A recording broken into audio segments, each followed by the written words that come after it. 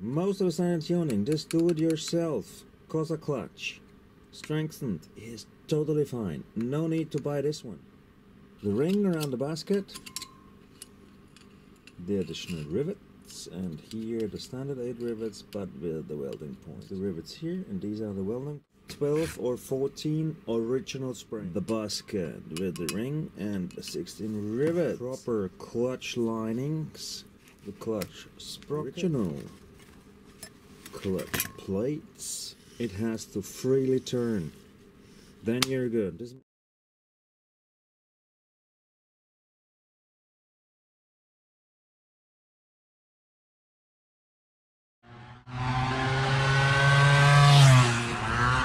small toothing.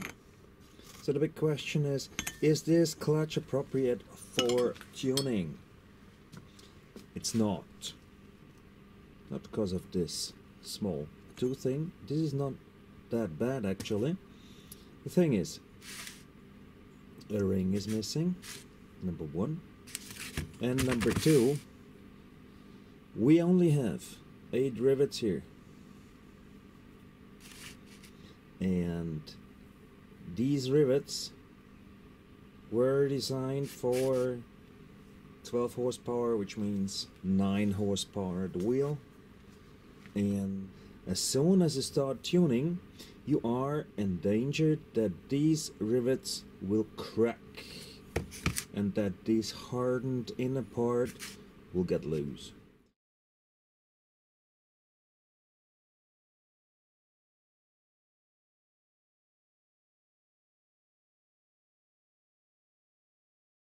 and having cracked, broken, hardened rivets in the gearbox, it's not what we want. Yeah, sure.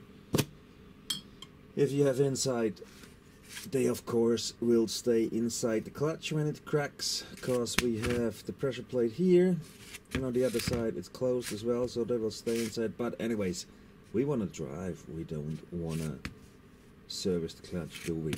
So, is it a tuning clutch to cause a clutch? It's not. Because the ring is missing and it only has 8 rivets and they're too weak.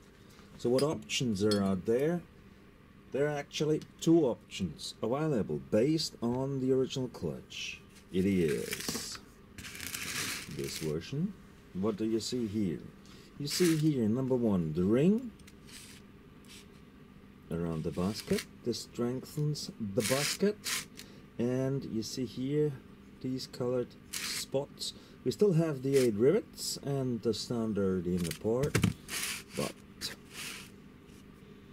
it was strengthened.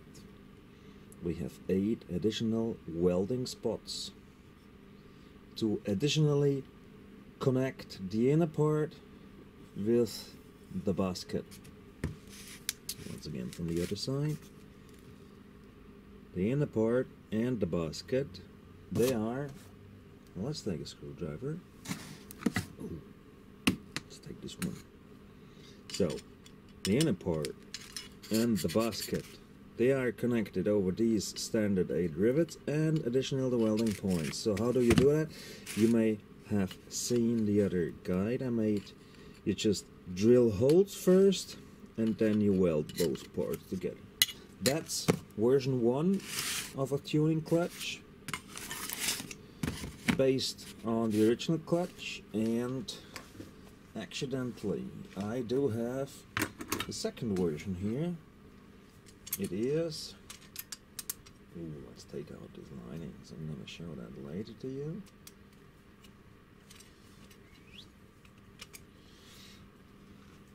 The other version is this one here. SIP. Why not making it worse meant for SIP?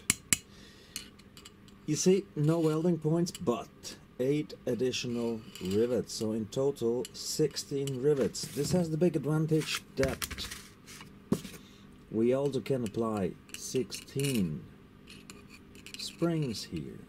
So the inner part and the basket is still the same. Standard inner part. Ground ground plate it's called. Sorry, ground plate. It's still the same, but you can use 16 rivets. And when you saw the other guide, use the weakest clutch springs possible because this is saving your second big clutch bearing. The weaker the springs are, the longer this clutch bearing will live because the clutch is pressing on this inner ring. But just check out the other guy. So,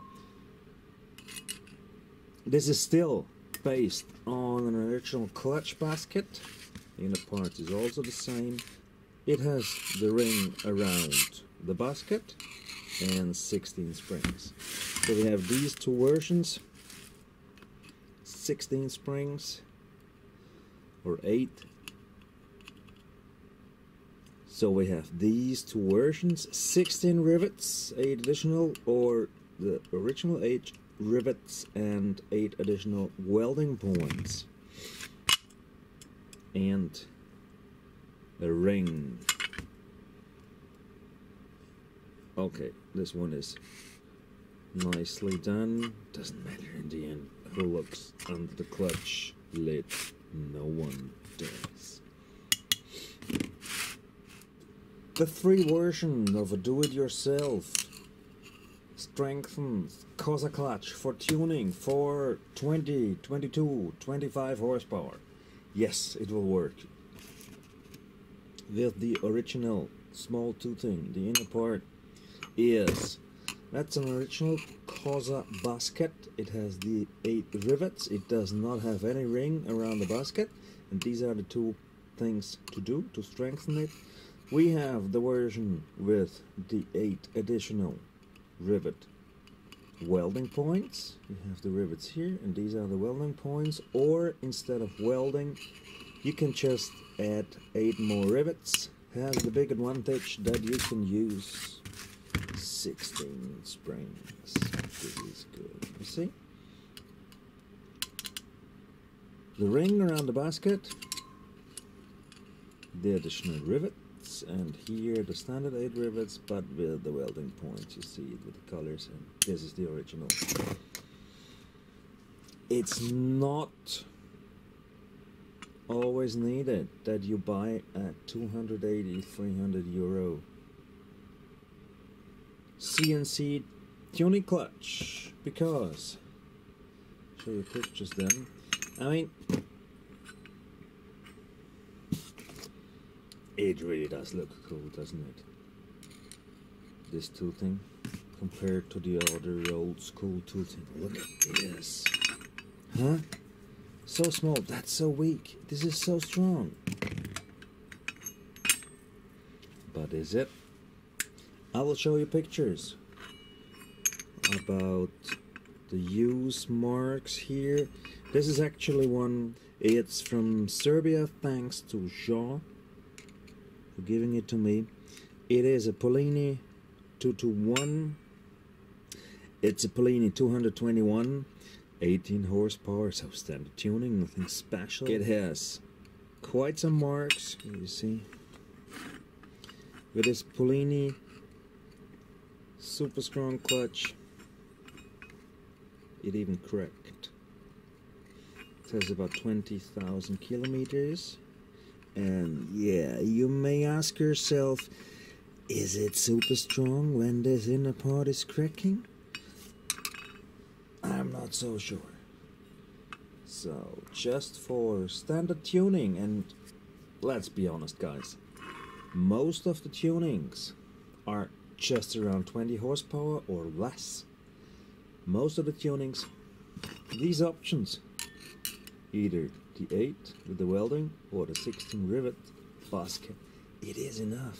It will work fine. And what you see here, and you have here some small marks at the toothing, but nothing is broken.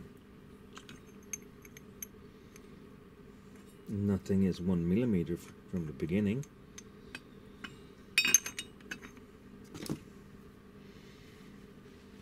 Standard tuning. Most of the standard tuning, just do it yourself. Cosa clutch. Strengthened is totally fine. No need to buy this one. Remember, 80 bucks, 40 bucks, double as expensive, but double as good as this one. Something to discuss. Use original springs. An original Cosa clutch has 8 springs. Just use 12 or 14 original springs. The weaker the springs, the longer your big clutch bearing lives. These are hotter springs, we don't need them anymore. So what do we need for our do-it-yourself tuning clutch? We have the SIP Sport Cosa clutch basket with a 16 rivets. What do we need for the do-it-yourself 20 horsepower tuning clutch? We need the basket with the ring and the 16 rivets. We do use, of course, proper clutch linings. Honda CR80 EBC CNC machined to fit the original Cosa basket. We have the clutch sprocket. In this case, it's a 22 teeth. The standard inner part. The original clutch plate and a strengthened circlip we can now assemble our do-it-yourself tuning clutch. What do you see here? They're dry. Oh my god. They were not soaked in for two weeks in oil. Shit, this clutch is never gonna work. It is enough to just oil it when you assemble it. I'll show you that in a second.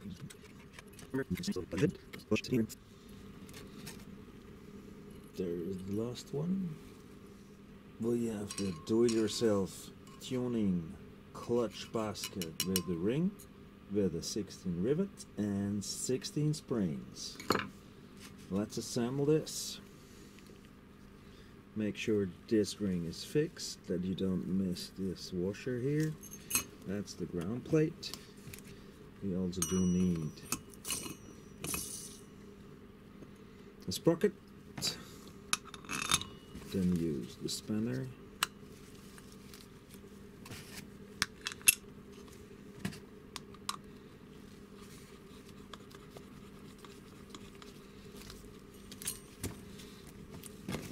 Now it's always a little bit tricky, but the ground plate fits.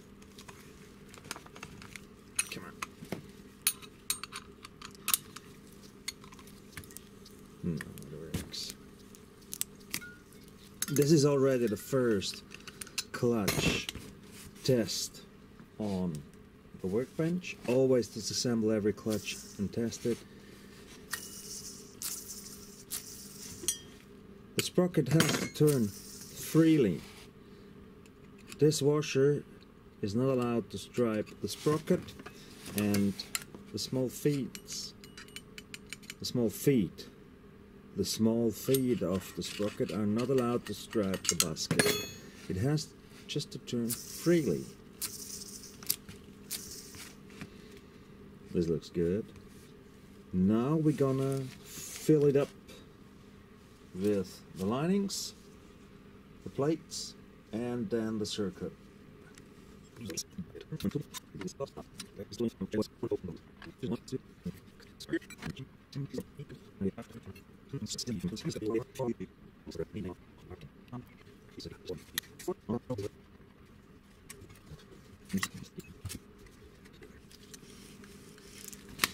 So, de-assembled do-it-yourself clutch, 16 rivets. De-assembled do-it-yourself tuning clutch, 20, 22, 25 horsepower, 16 rivets. A ring around the basket, Honda CNC machine clutch linings, a strengthened circlip, and the spanner is still on. Compressor, God. the compressor, the clutch compressor is still mounted. And this is the second separation test. Fully compressed, it has to freely turn. Then you're good. This means the clutch is working. If the clutch in the engine is then not working anymore, it's not the clutch. It's the clutch lid, it's the engine case, but not the clutch.